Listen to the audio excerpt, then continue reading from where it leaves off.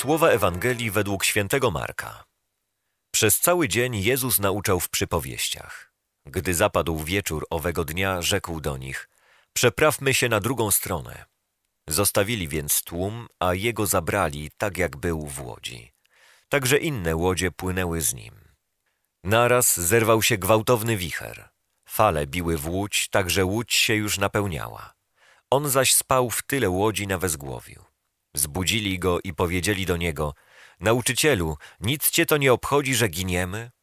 On wstał, rozkazał wichrowi i rzekł do jeziora: Milcz, ucisz się.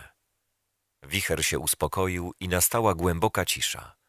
Wtedy rzekł do nich: Czemu tak bojaźliwi jesteście? Jakże wam brak wiary? Oni zlękli się bardzo i mówili jeden do drugiego: Kim właściwie on jest, że nawet wicher i jezioro są mu posłuszne?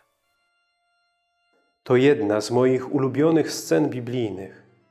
Burza szaleje, uczniowie się trudzą, a Jezus śpi sobie w najlepsze. Ten obraz uczy mnie dystansu do problemów. Jest wiele spraw, którymi zaprzątamy sobie głowę. Jedne są ważne, inne mniej ważne. Każda wymaga od nas wysiłku stawienia czoła problemowi. Jezus w dzisiejszej dobrej nowinie chce nam przekazać, że jeśli Go zaprosimy do naszego życia, to nic dla nas nie będzie zbyt trudne. Żadne fale nie zatopią łodzi naszego życia. Oczywiście nie znaczy to, że jeśli będziemy z Jezusem w zażyłej relacji, to nie będzie żadnych problemów w moim życiu. One będą, ale zmierzenie się z nimi będzie o wiele łatwiejsze. Nauczycielu, nic Cię to nie obchodzi, że giniemy?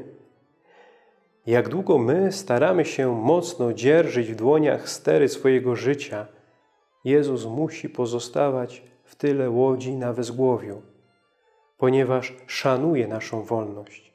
Jeśli chcemy, aby to Jezus zajął się naszymi sprawami, a zrobi to z wielką radością, to wpierw musimy Mu oddać stery naszego życia, pozwolić, aby to On był kapitanem.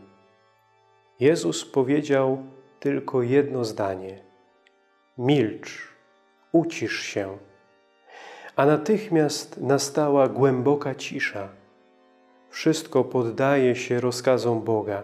Wszystko jest Jemu posłuszne. Jeśli Bóg jest z nami, to żadna siła na niebie, ziemi lub pod ziemią nie zdoła nam zagrozić. Ufnie trwajmy przy Bogu. Jemu zawierzmy nasze życie. Jemu oddajmy mostek kapitański, aby to On dowodził naszym życiem, a wówczas możemy mieć pewność, że łódź naszego życia nie pójdzie na dno, ale szczęśliwie dopłynie do portu zbawienia.